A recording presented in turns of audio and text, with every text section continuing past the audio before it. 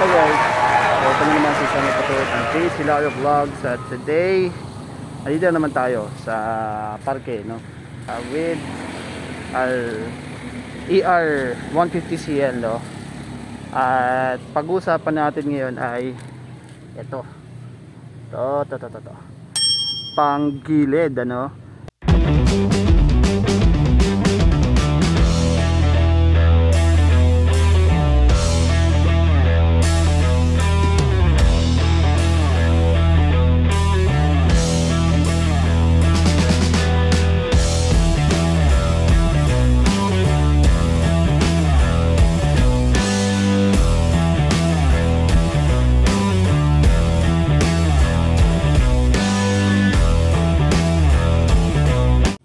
Una sa lahat, no, bigyan ko muna kayo ng tips kung paano nyo effectively matatanggal itong kaka na to. Di ba? Kasi madali lang tanggalin to sa ano eh. Sa Mio, sa hindi ko alam sa click kung madali lang matanggal. Uh, sa iba kasi exposed na yan. Kaya madali, madali lang tanggalin yan. Pero itong sa atin, nakatago pa siya dito. Napapansin nyo, meron na nga siyang gasgas. Ayan o. Oh kasi pag hinuhugot nila to natatama dito. Ito yung um, sa sa pilyon no? Ayan. So ang trick para dito is kailangan nyo munang syempre baklasin yung mga tornilyo ayan. Yung mga tornilyo dyan sa ilalim. Hindi ko na masyadong papakita kasi mainit yung makina hindi ko rin mahukawakan ayan gagawin sa bahay eh. So ayan. Oh, tatanggalin niya yung mga yan ngayon, pag natanggal nyo na yan, tatanggalin nyo rin to. Kailangan nyo ng Phillips. Pag natanggal nyo yan, may expose nyo yung sa shock. Ito dito. Pag na-expose nyo to sa shock, ito yun. Yan, yan, yan. So, kailangan nyo tanggalin itong sa shock. No? Kapag natanggal nyo na yun sa shock, kailangan nyo lang tong i-loose. No, i pwedeng ilabas mo konti pag nakalilay, pag nakalabas na, So, ngayon, kailangan may magdadagan dito. Kapag binaon mo to, uusli ngayon to palabas. Kapag uusli siya palabas, pwede na ngayon tirahin yung tornilyo na nandun. Ito, ayan o. Kaya kung makikita nyo. Yan, yan yung tornilyo. Papasin nyo, pag kinita ko yan, imposible kasi hindi mo basta-basta makapasok yan eh. Pero pag may dumagan dito, dumagan dito, bababa to, pag bumaba hosely ito so madali mo na itong hatakin tatanggalin yung tornilyo rito at madali mo na siyang mahatak palabas. So ayan tip ko yan kasi talagang yung iba ang balak ay tanggalin yung buong pairing kasi pinipilit nila tanggalin to itong apakan hindi na matanggal kasi sobrang tigas niyan guys. Kahit sa motor star pala kaya pala si kuya nung una sabi ko pwede ako magpa-setup sa kanya. Nagdadalawang isip siya na gawin kasi nga makakain ng araw. Ang dahilan pala kaya sinasabing kakain ng araw kasi kailangan niya pala tanggalin lahat to. Tanggalin to, buksan to tanggalin tong gilid. Tsaka niya tatanggalin to, tsaka pa lang niya matatanggal to. Pero yun ang style dun guys ha? Yun ang style. Alright? Ayan so kung papansin nyo rin kanina nung inikutan natin yung motor natin o itong 150cl uh, meron na akong mga nilagay no? uh, crash guard uh, yung ano yung mech warrior sa likod na ano it's a topic for another day no? um, ito muna yung stock o yung laman ng panggilid ni 150cl ito siya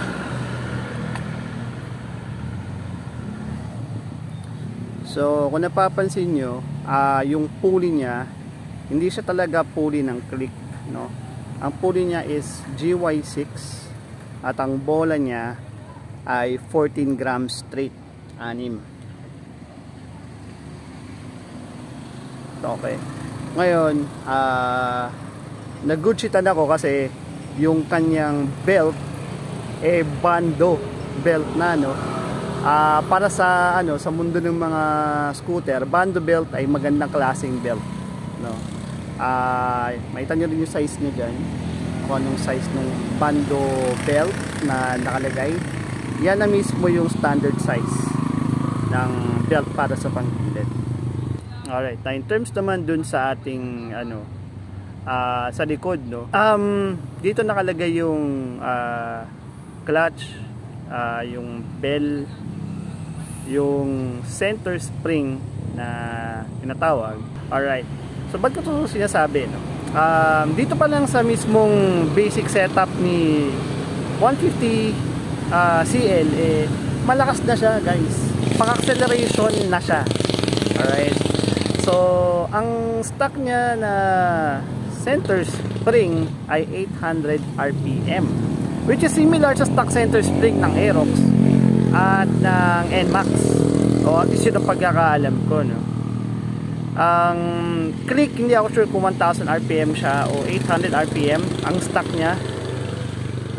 Pero ang alam ko ang bola ng click uh, is 15 grams straight no? Kaya malakas siya pang acceleration. So yun. Dito pa lang sa setup ni CL eh balance na siya for acceleration and top speed. No? in fact nung ano siya nung normal siya ang top speed ko dito papuntang um, papuntang Caloocan is nasa 104 to 109 km per hour. Humahataw na ako nun sa Quezon Avenue tsaka sa ano sa Commonwealth Avenue. Ang bilis lang namin nakarating ng ano ng, ng shop. Doon kasi ako nagpapalit ng panggilid at saka shock shock sa likod okay so ito naman ngayon yung nilagay ko na akala ko magpapalakas sa kanya pero in reality nagpalakas lang ng konsumo aside sa nagpalakas ng konsumo uh, nagpahina pa o parang parang sinil niya yung power ni uh, It's Ride 150 CL. So, sana guys kaplutan to ng aral uh, lalo sa mga baguhan na kagaya ko. Uh, ako kasi galing ako sa YTX which is normally kadena lang yan tsaka yung ngipin nung ano, ngipin nung gear ratio, doon malalaman yung ano mo yung timpla mo. No, kung pag top speed acceleration ka. Uh, 13T, ah, I mean 32T or 42T. Ganun lang yun eh sa YTX. Pero dito kasi ang laro dito is bola spring no uh, sila mag-determine ng lakas speed at saka ng timpla ng drive mo ngayon paalala lang ano uh, hindi po rin nagpalit ka ng panggilid eh magbabago na ang top speed no ng iyong motor. Wag po tayo maniwala na nagpalit ka ng magandang bola eh tataas na ang top speed mo kasi imposible yun. Kung 150cc ka 150cc ka. Yun yun. Alright, pero magbabago is yung gamay mo at yung timplada nung uh, nung automatic. So, ayan, ngayon ang nilagay ko nga pala rito, oh, nailagay namin kasi pinagpalit na ako ulit. Uh, which is pinagsisiyan ko is 1,200 RPM na center spring sa likod at ang combination ng bola niya is 9 grams and 11 grams. So, tikatlo, 11G tsaka 9G which is akala namin talaga is pangduluhan since 150cc ito alam namin na malakas yung makina kaya maglagay ka man ng magana bola kayang hatakin kayang ipaglaban nung pagiging 150cc niya no? Which is totoo. Um, in fact nakatakbo ko ng 109 kilometers nung nagpunta kami ng Baler no? Ilang Baler ko to.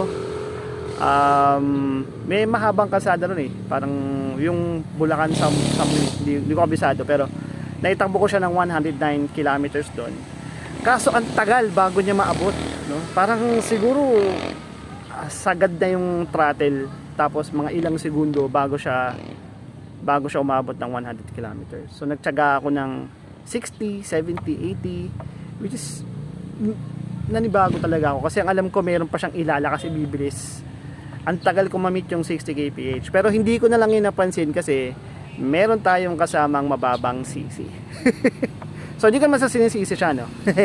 But anyway uh, yun ganun yung naging storya no? Uh, tumaas yung konsumo ng gas ng 11G 9G uh, plus 1,200 RPM na center spring ay nagbibigay sa akin ng konsumo na 24 to 25 kpl So wala talaga siyang advantage. Oh. Umasas lang ako ng malaki. In fact, nung nasa bungabon ako, ilang bote ang kailangan ko ilagay ah, para lang alam mo yun hindi ako kabahan kasi lagi umabot ng 1 bar eh. Hindi ako lumalayo. So parang nakakalungkot sobra guys. So ayan. Ayan yung setup ko na talagang pinapahiya ako nung dinala ko sa, shop at kinwento ko yung kombinasyon. Lahat sila napa ngiwi kaya guys huwag yung tularan huwag yung tularan. Okay so mabalik naman tayo ngayon sa aking setup now no? Ah, sobrang satisfied ako sa setup ko ngayon although may mga pinagsisihan ako kasi napag-asos na naman ako. Um, sa, sa papagilid ah, straight na. Ang bola ng pulley ko is 13G straight. Alright 13G straight. Ayun nagpalit ako ng drive face. Ah, ang drive face na original to is GY6 Ah, nagpalit ako ng ano kasi gusto ko ng click feels no? So nagpalit ako ng drive face na pang click. So ang bola niya ay pang click na. Ah, ang laman ng ah, ano ko drive face ko yung mismong sa pulley is legit Honda click na thir- 13 grams straight anim yun. Magkano rin yan? Sa 300 plus. Depende siguro sa shop na bibilan mo ng, ng bola. Tapos same bando belt pa rin. Ah, tibay matibay yung belt. Hindi, hindi naman siya nagka-problema eh. Tapos yung sa likod binalik ko sa stock. Ginawa ko siyang 800 RPM ulit. Which is talagang na-enjoy ko yung ano. Bumalik na yung ano niya yung konsumo niya. Siguro ngayon nasa ano nasa 30ish pa rin siya kasi nga 'di ba may ano eh nagkaroon ng ng ngalay siguro eh. Pero ang ginawa ko to compensate about my mistake is dun sa mismong bell itself na stock bell ah nitong ating ER150CL pinaregroove ko siya. Para yung mismong ano niya clutch na parang feeling ko eh kuminis dahil sa puwersa eh kumapit ulit doon sa mismong bell itself. Kasi nung, nung binalik ko siya sa 800 RPM parang hirap na siyang kumapit kasi nga dumulas na siya nung napuwersa siya sa 1200 RPM na spring. Halos parang nakalbo siya. Oo. Sabihin natin ano hindi naman kalbo na parang bakal na. Pero dumulas siya kasi napuwersa nga siya. Nung ko na-imagine nyo para siyang ano para siyang kabayo na umatak ng malaking karitela. Eh ilang kabayo lang meron to isa. Yun nga palang ano nun ah, spring nun no? Ng ano natin ng clutch spring natin is nasa 800 RPM pero ngayon dahil nagpalit ako ng sa click no nasa 1000 RPM siya. So ano niya ang disadvantage niya ah, or hindi ko alam kung advantage or disadvantage eh. Madali siya mag disengage diba drive ko siya ng todo tapos nasa 60 na ako so binitawan ko. Ah, mabagal siya bumaba mabilis siyang bumaba. So ganun yung ano niya yung spring niya pero dahil sa yung clutch lining niya pero dahil sa matigas yung spring niya bilis bumaba so nagpi-free wheel siya agad. Yun, yun yung problema. Kasi dapat nga matching yung center spring at saka yung yung clutch spring. Pero sa akin di na matching. 800 rpm na yung center spring ko. Yung clutch spring ko is 1000 ah, rpm so ayun. So far susubukan natin itong setup. Ah maayos naman siya sa ngayon Ah, bumalik na yung kanyang fuel efficiency. Salamat naman. So again wag yung tularan no? Ah, maraming explanation dito sa sa vlog na to. Naglagay ako ng link ng mga vlog na pinanood ko. Ah, vlog ni Wills tsaka ni Sir Ngarod no? Ah, marami kayo matutunan sa kanila. So again guys salamat sa pagsama sa akin ngayon sa araw na to. Sana may natutunan kayo. Um, next time subukan natin yung top speed no? Sa ngayon ayoko muna ayaw ko muna siyang magyakapan yung mga parts niya no? So again thank you for joining me today. And see you on the road. Bye